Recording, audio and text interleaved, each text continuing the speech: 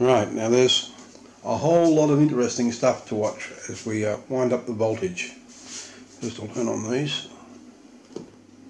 So what, we're looking at here is voltage coming out of the variac into the ferro transformer and the current.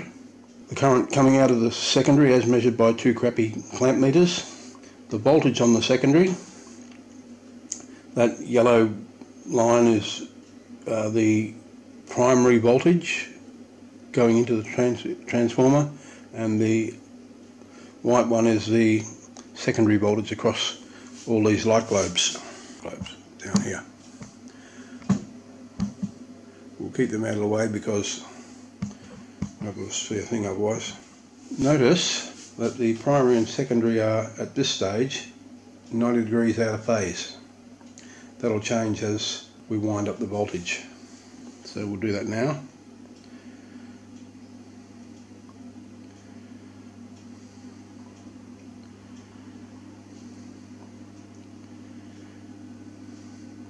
They're becoming closer and closer together in phase.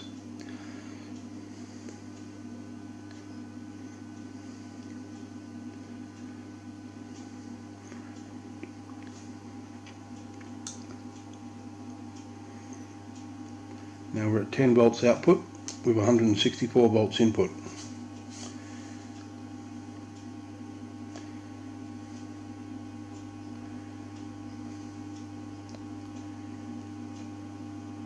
Two hundred volts input, ten point three volts output. So the volt, the output voltage has only just gone up a little bit, while we've moved this up like forty volts. all the way to 250 volts. 10 and a half, that, that's barely budged from 160 volts to 250 volts. Dropping down again now.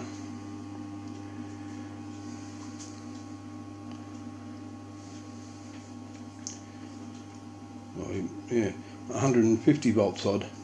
Uh, from 150 to 250, it's been within half a volt output. So it's, it is indeed a constant voltage transformer. We're still mostly in phase primary and secondary from about 120 volts down they start to the phase starts to open up to 90 degrees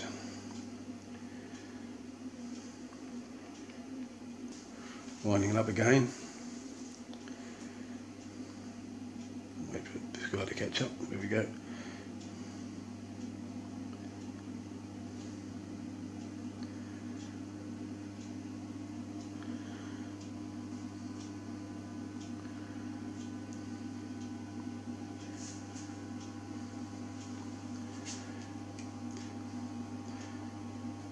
And of course, the secondary waveform is becoming much more of a square wave shape as as we go well and truly into saturation of the magnetic core and the secondary.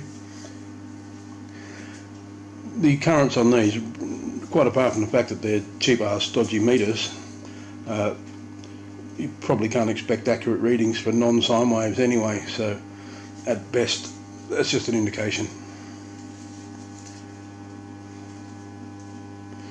270 volts, 10.6. So to move half a volt down to 10.1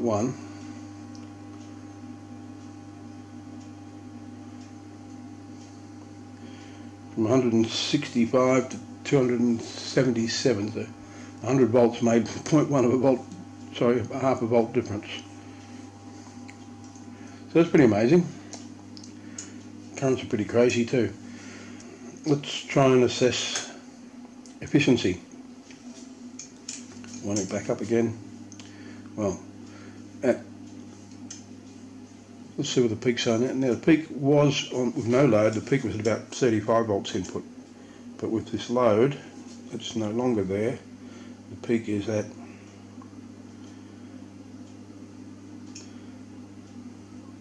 about 65 volts then the current drops talk about the primary current.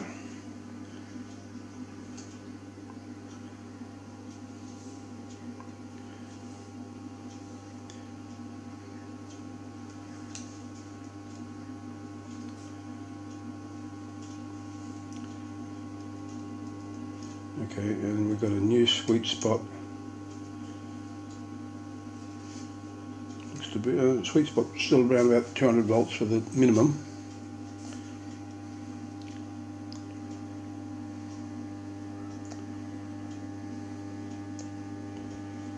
And then the current just goes up again after that. Goes up a lot from um, 250 250 volts it was well, at 276 it's 3.6 amps at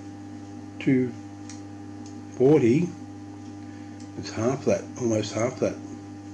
It is half that.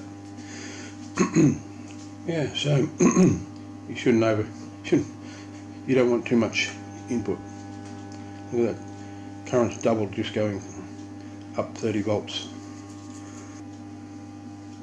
So running at 240 volts nominal input. Now I don't know how much we can trust any of these numbers we're looking at here because, well, certainly these ones, but this one might be still a bit dodgy too. We've got, let's call that 18, let's say 18 and a half, 18.5 times 10.5, 194 watts, and we're sticking in 285, so yeah, it doesn't win a prize for efficiency, but it does win a prize for constant voltage through a large input range. And also, of course, that square wave, if this was then going into a rectifier and filter capacitors, well, a lot of the work's already done. For the filtering, um, you get pretty small ripple there, so you could get by with smaller filter capacitors in your in your power supply.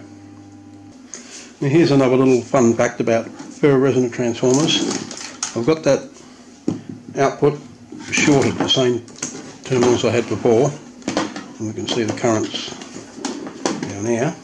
Okay, so winding it up and of course we get pretty heavy currents in the secondary over 100 amps with 7 amps primary at 220. I don't want to blow the fuse. So. But yes, as I understand it, they're, they're almost short circuit proof. But because of the saturation and the air gaps and the shunts and the rest of it, um, it gets to the point where the primary just can't put any more current into it and, and it folds back, to, well, doesn't look like it's folding back, does it? Quite high current, but I think if we did that with a conventional transformer, that current would be much higher, fuse would have blown long ago. 7 odd amps, 125 amps running there. And they're, they're starting to get pretty warm. I'll filter out surge voltages, I'll cope with sags in voltage, and you can't short circuit them. They're pretty bulletproof, just not very efficient. The other thing about ferroresonance that I wasn't able to really test with it without a lot of mucking around is um, their efficiencies at different loads.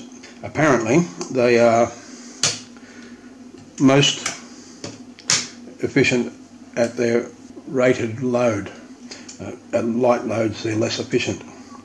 So that, together with the short circuit proof business, uh, makes it a bit of a problem because if you've got a load that has a heavy inrush current, then you need to size the transformer so that it won't fold back on that high input current. So it will supply the load with that high input current properly. But then when that input current subsides, you're running the transformer at much less than its rated load and therefore more inefficiently. So yeah, it's a bit of a dilemma there. So sizing them accurately is another issue. The Ferguson line tamer thing, I believe, is probably going to be the other type that I saw in my research, and that's considerably different to this. We shall see in the next video when we have a look at the line tamer. Catch you later.